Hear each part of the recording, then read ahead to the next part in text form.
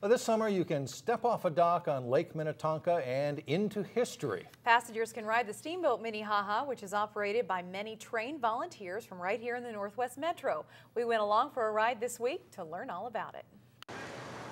My grandparents and their parents may have been on this boat. Sitting at the dock of Excelsior Bay, It means a part of the history, and I think the history of the lake.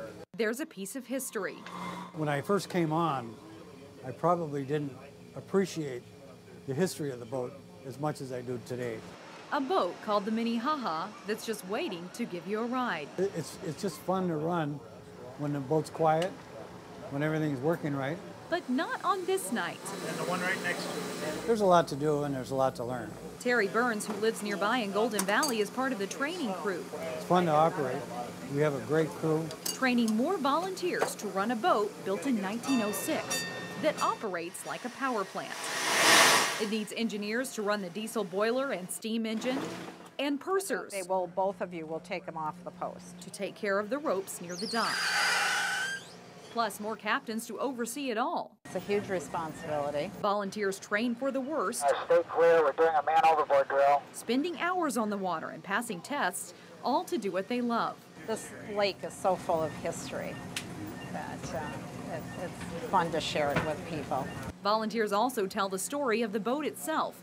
The Minnehaha ferried people across the lake until 1926. Later, the boat was sunk in deep water. She spent most of the last century under the water. A history enthusiast brought the boat back up to the surface in the 1980s. When they, they brought the boat up and they pumped it out, it floated on its own. So the Minnehaha did not want to be under the lake anymore. She was ready to come up. Now the boat is restored. And there's a crew in place, so volunteers can share their love of the lake each time the Minnehaha pulls away from the dock. People can experience it today and make so many memories on the boat that people didn't have a chance to previously.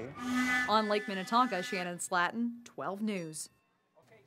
And the Minnehaha needs volunteers for pursers, captains, and engineers. We've got more information on how to get involved posted at 12.tv. So, Mike, if you don't have a boat, that's a good way to get out on the lake. That's a cool ride. Sure, it is. For only 5 or $10, you can go all around. She's got smooth lines. There you go.